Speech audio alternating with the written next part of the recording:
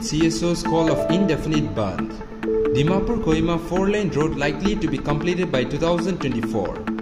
25 years of Indo Naga ceasefire commemorated in Nagaland. Only 45 out of 187 development projects completed in 8 years. Al Qaeda leader Ayman al Zawahiri killed in US drone strike in Afghanistan, President Biden confirms mission success. News in details. Tizit CSO's call of indefinite ban.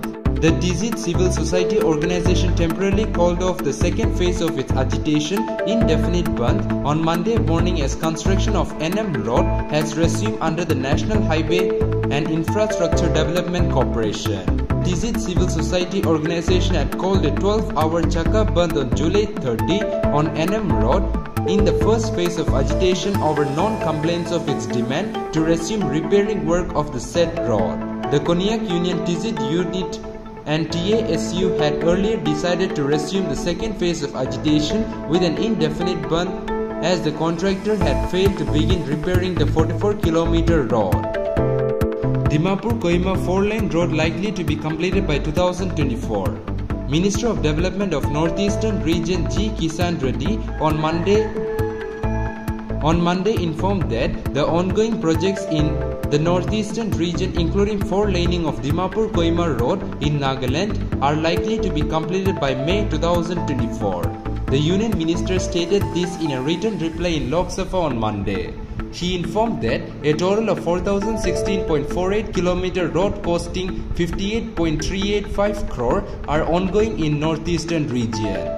These projects were undertaken during the last 5 years. The completed projects in northeastern region cover a length of 3099.5 km for rupees 15570.4 crore while the ongoing projects are likely to be completed by May 2024, he stated. 25 years of Indo-Naga ceasefire commemorated in Nagaland. The ceasefire signed between the Government of India and the NSCN-IM created conditions instrumental in bringing about peace in Nagaland and also creating understanding between the two parties, said Lieutenant General Amarjit Singh Bedi, chairman of Ceasefire Monitoring Group. He was speaking during a program held to commemorate 25 years of Indo-Naga ceasefire at Mission Center, Western Chakhesang Baptist Church, Council, 7 Mile Chumoukedima on Monday. The peaceful condition in Nagaland is a result of ceasefire and it has also brought confidence in the establishment to be able to move AFSPA in some of the areas of Nagaland. Maintain the special invitee of the event. He shared that if the situation on the ground was not handled in a mature manner and with honest intention, it could turn into a larger conflict. Only 45 out of 187 development projects completed in 8 years. Nagaland has completed 48 out of 187 development projects sanctioned under the Ministry of Development of Northeastern Region and Northeastern Council during the financial year 2014-15 to 2021-22. Minister of DONER G. Kishan Reddy in a written reply in the Lok Sabha on Monday stated that Nagaland has completed 45 developmental projects at a cost of rupees 241 crore during the financial year 2014-15 to 2021-22 with 142 ongoing projects with an estimated budget of 1724.29 crore.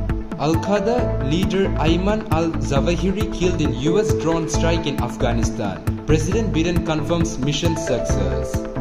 Al Qaeda leader Ayman al Zawahiri was killed in a CIA drone strike in Afghanistan over the weekend, US officials said on Monday. The biggest blow to the militant group since its founder Osama bin Laden was killed in 2011. Zawahiri, an Egyptian surgeon who had a $25 million bounty on his head, helped coordinate the September 11, 2001 attacks that killed nearly 3,000 people. One of the US officials speaking on the condition of anonymity said the CIA carried out a drone strike in Afghan capital Kabul on Sunday. The United States conducted a successful counter-terrorism operation against the significant Al-Qaeda leader Ayman al-Zawahiri in Afghanistan over the weekend. A senior administration official told the various news agency outlets in USA. The official said that the strike in Kabul was led by CIA.